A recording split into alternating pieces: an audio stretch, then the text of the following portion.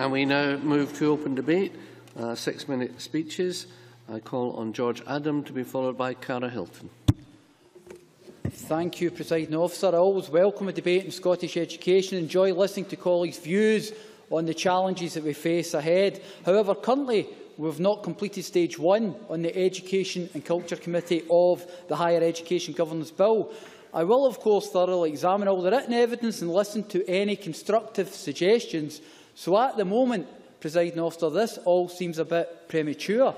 But with that caveat in mind, I make the following comments. The Scottish, no, I've got far too much to go through, uh, Ms Smith. The Scottish Government has made it clear that the universities are and will remain autonomous bodies. Why would anyone want to take away that which is seen as fundamental to our universities' worldwide success? The aim of the Higher Education Governance Bill is to modernise, strengthen governance, ensuring that the principles of democracy and accountability are an integral part of the higher education sector. Ferdinand von, von Principal and Vice-Chancellor of Robert Gordon University and Chair of the Scottish Government's Review of Higher Education Governance, said earlier this year, University, universities are autonomous bodies and should be but their autonomy should not shield them from the legitimate expectations that they engage with staff, students and external partners or that they need to behave in an accountable manner. I've still got quite a lot to go through as well. He added, none of this is about government control. None of our recommendations, and indeed none of the proposed elements of the government's planned legislation would give any power to ministers to interfere in the running of institutions. The 2012 review is the foundation of the bill. With regards to any potential ONS reclassification of universities, I would like to say that this has been central to the Scottish Government's consideration throughout the development of the bill. While providing evidence to the Scottish Parliament's Finance Committee, Scottish Government officials stated the following. We deem reclassification to be a low risk.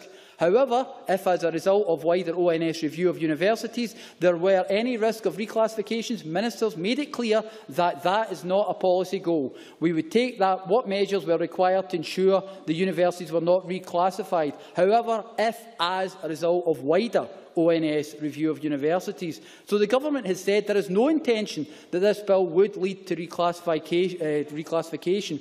Unison Scotland helpfully pointed out that the Education Committee in written evidence universities have a range of income sources and the proposed bill will not impact on the balance of funding.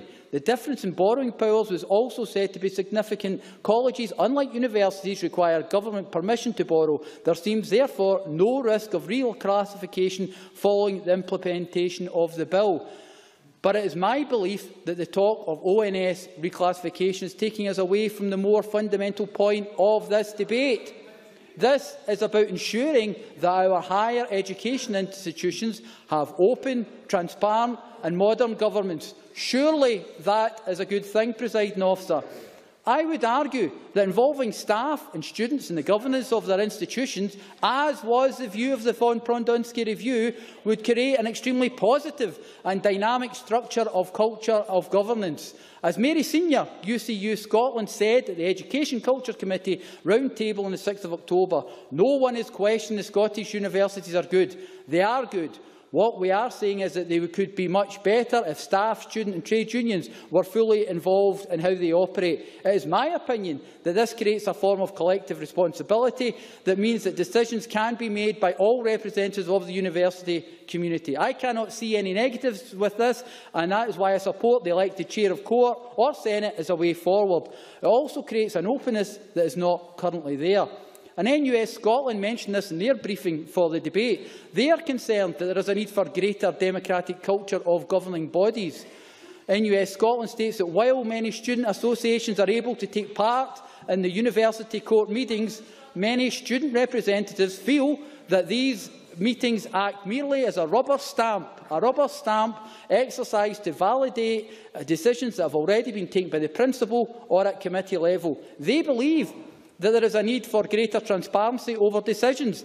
In addition to a lack of participation in democratic culture on governing bodies, there is a distinct lack of transparency, they state, over governance decisions. They provided an example of this being investment discussions, decisions of universities and increasing principals' pay packages of the institutions. Let's look at this further, presiding officer. Let's take the University of Edinburgh, although they're not alone in this with salaries, in 2005, 190 people had a salary between £70 and £189,000. In 2014, 440 people had a salary between 70 and 319,000, with the top salary being anywhere between 340 and 349. At this stage, I don't know how much the top salary is because it isn't actually clear from the information you can get. That doesn't mean there isn't an answer to that question. It means that surely if we had the, the democracy within the universities, we'd have an opportunity to be able to see uh, what is actually available there. So, presiding officer, the Scottish Government provides £1 billion of public money in our higher education institutions. They do this because the educational future of our young people is important to us all. They do it because our world-leading universities give so much back Draw to our to nation. close. But we cannot stand back and admire this great work and not move our universities on. It's time to make sure that we equip them for the 21st century. Thanks very much.